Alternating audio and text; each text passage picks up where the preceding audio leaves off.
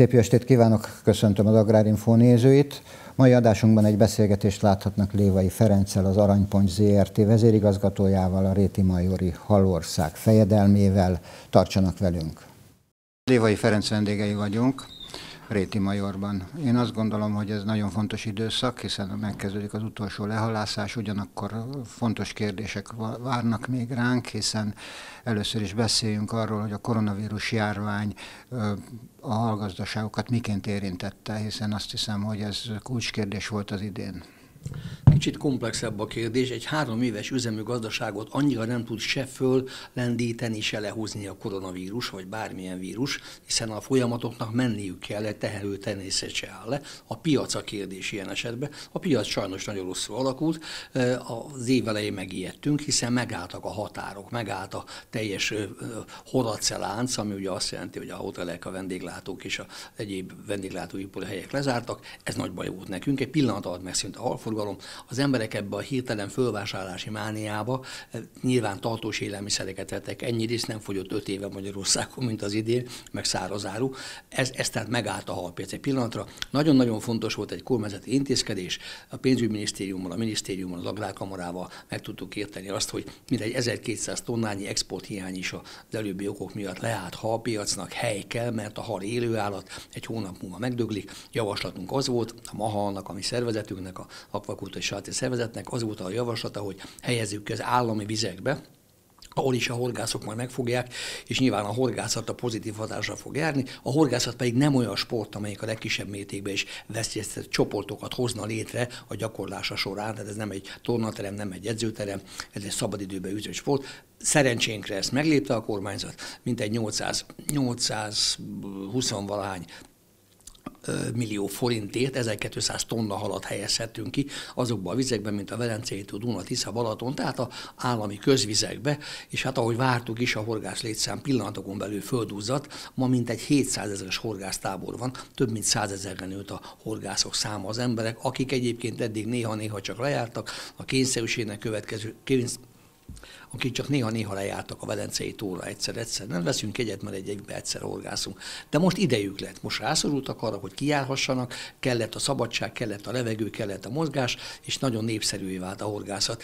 Ha, ha így nézem, akkor az egyik, az egyik negatív hatás sikerült a kormányzatnak kiküszöbölni, a második pozitív hatás pedig az volt, hogy a beragadt halak helyére ugye jöhetett az új termés, mehetett további zavartalanul az export, és hát a nyár, egy, ha, ha nem is hoztuk be a veszteségeket, de a nyárra kiegyenlítődtek az erőviszonyok, mi és a piac között, és folyamatosan szállítottuk a halat. Most itt vagyunk az őszön, azért még menet közben hadd mondjak valamit, persze senki nem tudja kivonni magát az időjárás alól, de azért ilyen extrém helyzet már de nagyon régen volt, hogy az egész tavasz csontszáraz volt, a Dunántúli kis tóegységek nem teltek föl vízzel, egyszerűen nem volt honnan csapadék jöjjön, az elhanyagolt csatornákon nem tudott leszivárogni a csapadék, ott állt a fél Dunántúl üresen a halastavakba gázló madarak járkáltak, mert halat alig lehetett be gázlómadarak járkáltak, halat alig lehetett beletenni, hisz alig volt víz. Majd jöttek ezek a villámárvizek, pillanatokon belül 60-100 mm csapadékok zúdultak le, és bizony jelentékeny kárt szenvedtünk, több száz tonna hal elszökött, elszakadtak a gátak,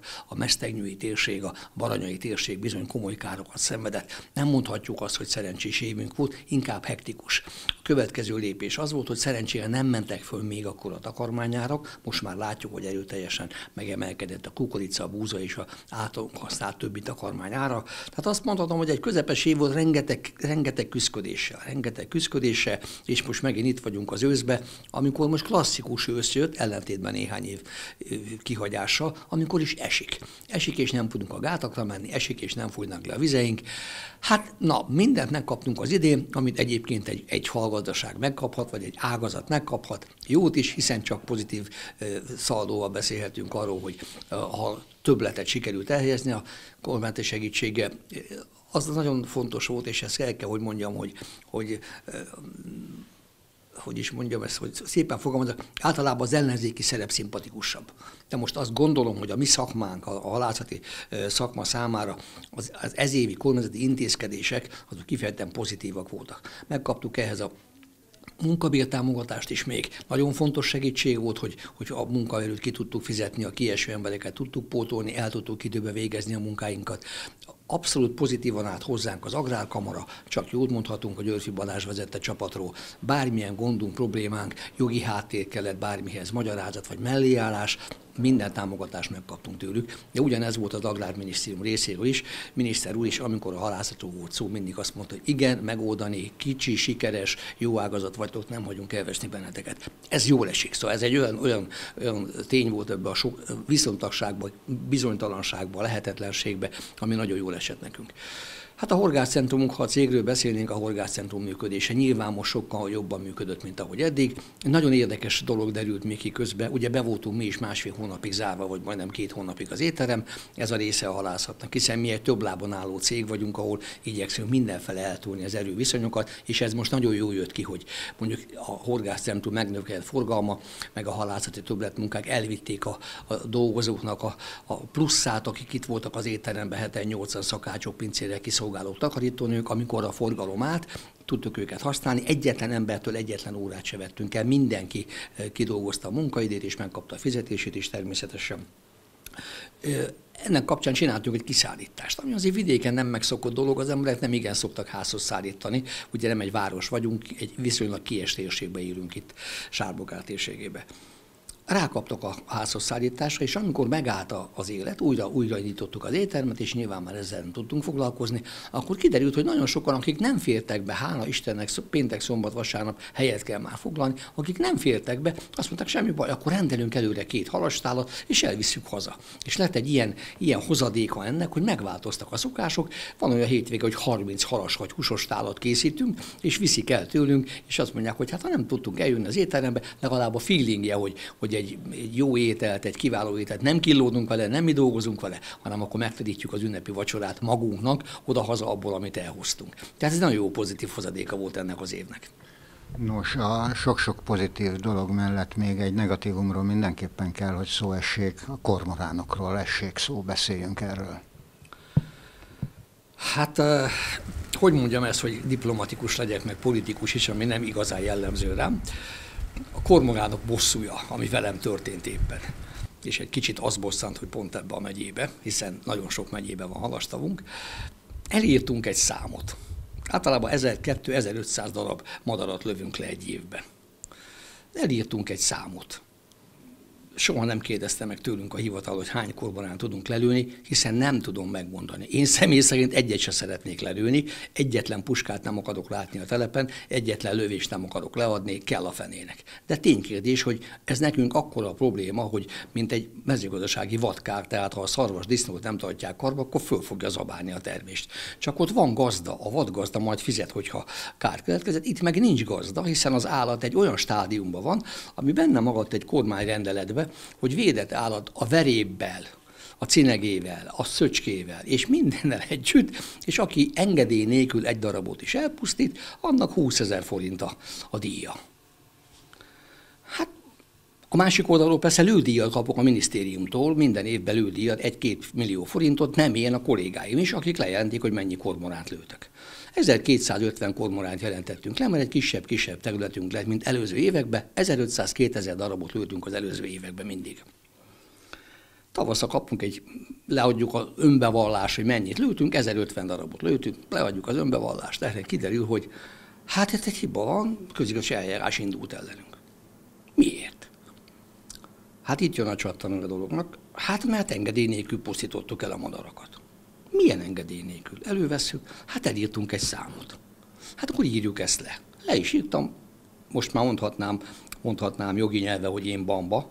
Le is írtam, hogy igen, eltévesztettük, a kollégám az mellé írta 1250-250 darab, de itt vannak az előző évi bevallásaink, látszik, hogy, hogy nem akarhattam, hiszen semmiféle előnyöm nem származott ebből a tévedésből. Hátrányom annál több, hiszen ugye most ebbe a csapdába estem, én úgy gondoltam, hogy nyilván majd módosítanak rajta, van ilyen. Hát az lett volna a természetkárosítás, hogyha én nem lövöm le a madarat, az lett volna a gazdasági kár, ha én nem. És nyilván pénzt kapok azért, hogy lelövöm. A másik oldalon benne maradt egy kormányrendeletbe, hát, eh, hogy fogalmazzak finoman, nem fogadták emberi tévedésnek. Ugye nehéz elhinni, hogy egyik oldalon kapok 1 millió 100 ezer forintot azért, mert lelövöm a kormoránt, a másik oldalról 17,5 millió forintra megbüntetnek, mert 750 darabba többet lőtem. Miközben azt elismeri mindenki, hogy se természetkárosítás nem történt, hiszen fordítva lett volna természetkárosítás, se pedig szándékos emberi mulasztás nem történt. Igen, tévedés igen. Egy tévedés, egy betűvel kevesebbet írtunk. És a hivatal nem korrigálta.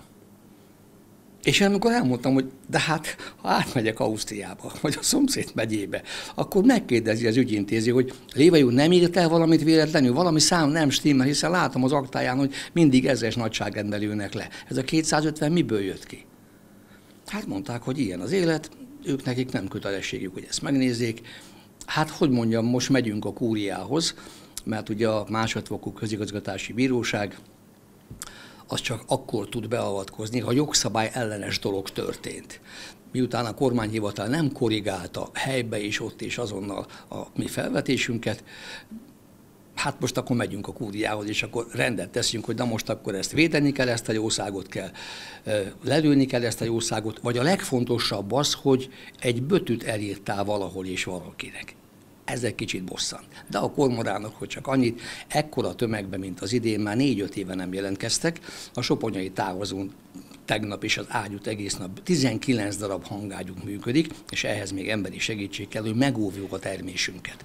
A Mohosznál a halőrök speciális fegyvereket kaptak acélőszerrel, hogy a Dunán, Tiszán, Velencei tavon ne tudjon garázdálkodni ez ország. Szó szerint ezzel a fekete sereggel háborút folytatunk. 40-50 ezer darab kormorán van itt, ez minden nap egy kilogramm hal, neki ennyit kell megennie. Ha csak fél kilót eszik meg, akkor már igen nagy bajban van. És hát 10 hektárszám pusztulnak ki az erdők, a savas ürülék lemarja a fák kérgét. Most már nincs semmiféle akadálya annak, hogy ezt a kérdést rendezzük. Most a Mahal azon dolgozik, az akvakultúrság szervezet, hogy a miniszter úr össze fog hívni egy értekezletet, ahol az összes kormányrendeletet, ami ide csatlakozik és ehhez kapcsolódik, azokat abban az értelemben módosítsuk, hogy ne essünk bele egy ilyen csapdába, mint ez is, hogy elírunk egy bötűt, aztán mindegy az előéletünk, meg az utóéletünk, ez a bötű, ez bizony nekünk 17,5 millióba kerül, ha a kúria nem ismeri azt el, vagy minősített emberülésnek is vannak helyzetei, hogy most szándékosan előre kiterveltem, vagy mit tudom én, itt nincs, ha elírtál egy betűt, akkor nincs az Isten, aki ezt a betűt megmásítsa. Bizakodóak vagyunk, hogy megoldódik ez a helyzet, ugyanakkor folytatódik a munka, aminél nincs fontosabb, tehát az őszi lehalászás ebben a pillanatban elsőbséget élvez nyilván, hogy folyik a munka. Hát nehezen.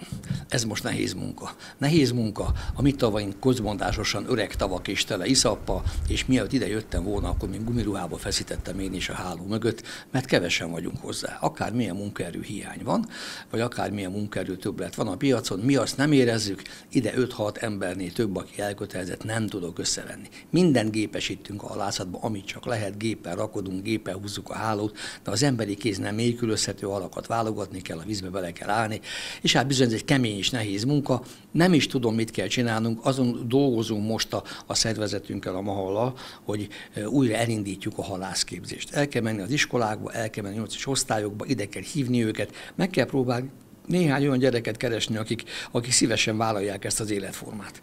Van ilyen, hála Istennek van ilyen, nekünk is van olyan agrármérnökünk, aki, aki délelőtt még éppen a keltetőházban dolgozik, vagy éppen egy szakcikket javít, délután megveszi a gumiruhát, azt áll be a többiek közé. De hát nyilván nem ez a megoldás. Nekünk a technikai fejlesztés, az észszerű halászat, a szervezés az erősségünk. Emberből, aki fizikai munkát végez, sajnos egyre kevesebb van. Tudomásul kell vennünk, ezen a helyzeten nem tudunk változtatni, nem lehet behozni se munkaerőt, és itt hol toborozni se. Abba bízunk, hogy a már említett szakmunkás képzés visszahozásával legalább tudna a szakma egy-két osztályt kiállítani, 20-30 gyereket találnánk a, az országba, akik közül talán négy-öt a mi megyénkbe is lenne, akik szeretnék ezt a szakmát folytatni, és így nem jutunk oda, hogy azért kell visszafejlesztenünk, mert nincs az a kéz, akivel meg tudjuk oldani a dolgainkat. Kap rá kampány keretében a halpéntek arra magyar akció sokat segíthet abban, hogy elinduljon a halfogyasztás felfelé, hiszen valljuk meg, hogy ez nem pozitív ez a helyzet most. Nevezhetjük síralmasnak és mennyiség szempontjából. Egyik oldalról, egyik szemem sír, ez az oldal, amelyik azt nézi, hogy Európa és a világ mennyi halat fogyaszt fejenként, pláne azok, akik jobb körülmények között élnek, hiszen tengerük van, halászat szempontjából jobb, mondjuk Portugália, Spanyolország, Franciaország, hát ott bizony a 20-tól a 40 kilóig jut egy főre per év. Japán a legtovább élő nemzetek egyike, 80 év az átlag életkor, na persze 70 kg halat vagy tengerből származó élelmiszert, akvakultúrás élelmiszert fogyasztanak. Ezzel szemben a mi 6 kilónk az nagyon-nagyon kevésnek tűnik, vagy 6 és fél, de 1990-ben 3 kiló volt mindez. Kérem, ez a gazdagságnak a bűne. Nagyon jól élünk, tele vagyunk hússal. A magyar főétkezés elképzelhetetlen hús nélkül. Húsfaló nemzet vagyunk, és mi megtehetjük. Nálunk a hús relatíven még a többi országhoz képest olcsó, és a magyarnál a főétkezés az nincs hús nélkül. Hát ezt kéne egy kicsit a halla megjavítanunk, azért is, mert a legfontosabb dolog az egészségünk lenne. Az egészségünkét hosszú távon pedig egy dologgal tehetünk, az üzemanyaggal. Azzal, amit megeszünk. A hal a legegészségesebb fehérje források egyike, ebbe semmiféle vita nincs. Ez Magyarországon annál inkább igaz, hiszen a nálunk az a halászatnál sajnos már a tengeri halászatnál jelentkező élelmiszerbiztonság, ami bizony eléggé, eléggé megtépázza a hal hírnevét, hiszen a tengeri halakból, hogy honnan, mikor, ki fogta meg, és, és hány hónap alatt ért ide fogyasztva, arról bizony csak halvány fogalmunk van, nem fogjuk tudni megmondani. Az se, hogy a Fukushima környéki szennyezett tengervízből jöttek, az se, hogy a Barents tenger, ahol ott van a fél orosz hadiflotta a tenger mélyén, abból ott haláztak, vagy éppen mondjuk a csendes óceáni szemétszigetek környékén fogták meg azt a halat, ami hónap a tányérunkra kerül. Hát a, az EU többsége nem válogathat, mert a teljes EU fogyasztás 60%-a import mi Magyarország megtehetjük azt, hogy válogatunk, hiszen Magyarországon megtermeljük az a 15 ezer tonnányi halat, amire szüksége van az országnak, és megennénk, meg tudnánk többet is termelni, ha lenne rá igény, és nálunk nagyon-nagyon rövid az az ökológiai lábnyom, hiszen a hal ettől a tótól holnap a pesti piacra kerül, vagy a horgászvízbe kerül, nem ment csak egy napot, áttettük az új helyre, vagy éppen elfogyasztottuk. Nincs hozzá repülő, fogyasztó, nincs hozzá semmiféle freongáz, ami a levegőbe kerül, tehát a legegészségesebb módon kerül vissza a környezetbe ez az, és táplálékú szolgál a magyarországi hal. Ráadásul nálunk egy tavalyi EU-s felmérés végleg eloszlatta a hal iránti kedélyeket. Egy Happy Fish boldog hal címmel kaptunk, kapott erre néhány egyetem pénzt és egy kutatólabor, és megnézték, hogy a magyarországi felszíni vizek és a, a benne élő halak milyen esetleges szermaradványok vagy toxikumokat hordoznak. Nagyon-nagyon örültünk annak is, meg is könnyebbültünk. Nincs semmiféle szermaradvány magyarországi halakba egyetlen egy helyen találtak egy, egy nagyon kicsi kis, kis ö, ö, hogy is mondjam, határértéken belüli gyomítószer szennyezés valószínűleg belemosta akkor a vízbe, a halba, az se jelentkezett csak egy vízbe, belemosta egy friss eső, egy gyomítózás után a talajból lehozta a vízzel. Tehát a magyarországi vizek és a benne élő halak állapota kiváló, élelmiszerbiztonsági szempontból senkinek se kívánok nébik ellenőrzést, nálunk éppen ma lesz egy újra, mert hát azért az Európai Uniónál lényeg lényegesen szigorúbbak a szabályunk, és mi komolyabban is veszük őket. Ezzel is egyetértenék, azt mondom, hogy e, maradjon meg a nébiknek ez a szerepe, hogy bizony csendőr, és ahol olyat lát, ami nem felel meg az élelmiszerbiztonságnak, a higiéniának, vagy bármilyen más feltételnek, ott kemény büntetések vannak, és egyet is értünk vele, hiszen amit megeszünk, annak a tisztasága és a, a betartalmi értékei fontosak mindenki számára. Tehát a magyar halfogyasztásánál a pénteket azért találtuk meg, nem ki, csak meg, hiszen a hal egy rituális állat. A kereszténységnek volt a leg, hogy is mondjam, szeretettebb jele, hiszen a ókori keresztények a hátuk mögé rajzolták a portba a hal jelét, hogy ők Krisztus hívői, hogy ne keverjék össze a pogányokkal őket, ha üzenni akartak egymásnak. De a hal volt a leg, egyetlen olyan rituális állat, amit a, a Biblia arra használt, hogy kimutassa, mennyire fontos volt Jézus csodálatos halfogása, Genezáreti tavon, vagy a kenyérés, a halszaporítása. Ezek se véletlenek. Minden vallás elfogadta a hal élettani szerepét és jóságát. Nem véletlen, hogy a bőtök napját, a pénteket a húsevés tilalmául jelölték ki. Rájöttek arra, hogy addig, amíg az apát uram, aki minden nap mondjuk eheti a, a sült nyulat, vagy, a, vagy ami éppen a eszébe kerül, hiszen ugye a hit szerint ő áll legközelebb az Úristenhez, addig a kódolóbarát 20 évvel tovább él, aki egy, egy füstölt keszeggel, vagy egy szágított hallal rohangál fél napig, és még valami kis adományt összeszed hozzá, vagy a kolostól kelti növényeket eszi, hát nyilvánvalóan minden rituális e, tiltás vagy javaslat mögött van egy kis, egy kis egészséges e, egészségpolitikai elképzelés, hogy is fogalmazom ezt jól, mert ez nem szép, mindegyik mögött van valami, aminek valódi tartalma van. Ne ölj, ne lopj, ne védkezz, koplaj. Ezek mind olyanok, amik a javunkra szolgálnak. Tehát valahol az ember emberé válásánál alakulhattak ki ezek a, ezek a csodálatos szabályok. A lényeg az, hogy ha megint el tudnánk azt képzelni, hogy minden pénteken, csak pénteken és csak egyszer, egy héten a halra gondolnánk és halat vennénk, és megkeresnénk mondjuk a hozzánk legközelebb álló halboltot, vagy ha étterembe megyünk, keressünk e most az egyszer halat, és ha tehetném és javasolhatnám, akkor ne ladacot tegyünk, és nem akarok kitérni a tengeri halakra. Sajnos a, a csendes óceáni pusztuló szigetek, Európa nagyságú szemét szigetek úgy telerakják mikroműanyaggal a tengereket, az ami elképesztő. A DDT jelenséget prognosztizálnak a tudósok, ugye az is óriási nagy öröm volt, hogy megjelent a DDT, nem lesz malária. Az igaz, sokkal többen pusztultak be a DDT utólagos hatásaiba, mint a maláriában annak idején. Tehát az emberi tevékenységnek a, a hátulütői sajnos évtizedek múlva derülnek ki, talán most már kicsit gyorsítunk ezen a felismerésen, tehát nagyon fontos lenne, hogy az egészségünkre fontos élelmiszereket a hazaiból szerezzük be, a magyarból, az itt termetből. Higgyék el, Magyarország nagyon-nagyon tiszta ország egy Hollandiához, vagy egy Németországhoz képest, mondjuk a vegyszer felhasználásokban. Jobb a talajunk, jobb a földünk. Vigyázzunk rá, és a magyar mezőgazdaság termékeiből, ha egy mód van rá, abból fogyasszunk, biztos vagyok abban, hogy mindenki jobban jár. És nem termelőként mondom mindezt, hanem olyan állampolgárként, aki itt élt el az életét Magyarországon.